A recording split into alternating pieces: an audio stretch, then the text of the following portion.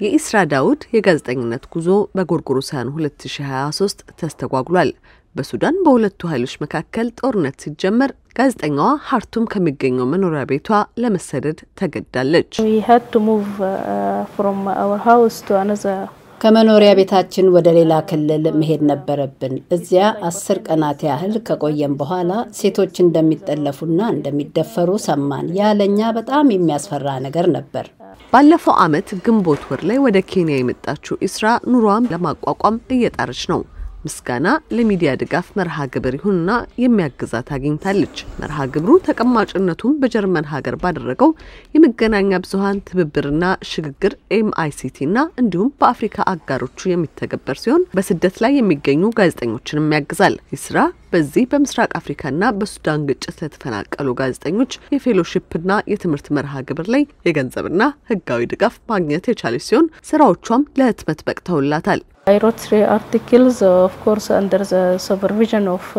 ሶስት ጽሁፎችን ጽፌያለሁ እና እነዚህ ፕሮጀክቶች እየታዩ ነው። ስራዎችን ስልክላቸው ስለዚህ ነገር ብትጽፊ፣ በዚህ ነገር ላይ ብታተኩሪ የሚሉ አስተያየቶች ይደርሱኛል። ይሄ ጥሩ የመማሪያ መንገድ ነው።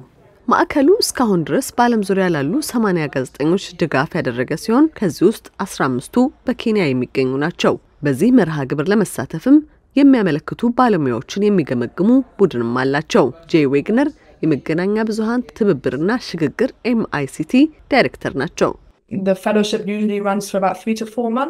መርሃ ግብሩ ከሶስት እስከ አራት ወር ጊዜ የሚፈጅ ሲሆን ሁለገብ አቀራረቡ ደግሞ በግለሰብ ደረጃ የሚሰጡ ሰባት ክፍሎች አሉት።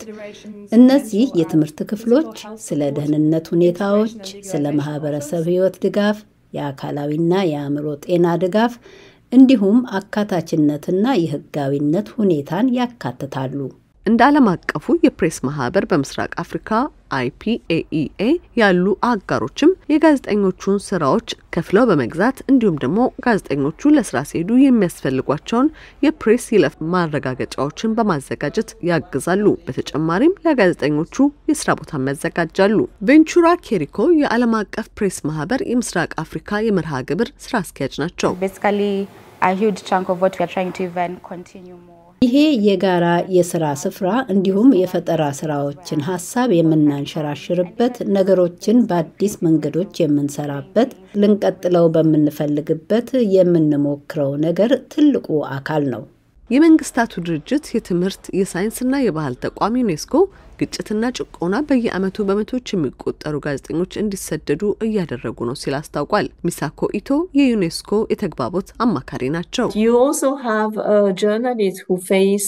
የመገናኛ ብዙኃን ገጽታን ለማዳከም ተብሎ የፖለቲካ ጭቆና፣ የመሪዎች ትንኮሳ፣ የሚጽፉትን ነገር ቁጥጥር የሚደረግባቸው፣ በወንጀለኞች ቡድን የበቀል እርምጃ የሚደርስባቸው ጋዜጠኞች እናንተም አሏችሁ። ጋዜጠኛ ኢስራ ዳውድን ጨምሮ በሱዳን 8.5 ሚሊዮን የሚሆኑ ሰዎች ባለፈው ዓመት በግጭት ሳቢያ መፈናቀላቸውን የዩኔስኮ ግምት ያሳያል። ኢስራ ወደ ሀገሯ የመመለስ ተስፋ አላት። እስከዛው ድረስ ግን የሚዲያ ማዕከሉ በስደት ላይ ያሉ ጋዜጠኞች መደበኛ ሕይወታቸው እንዲጠበቅ ያግዛቸዋል። ለቪክቶሪያ አሙንጋ ዘገባ ኤደን ገረመው ከዋሽንግተን ዲሲ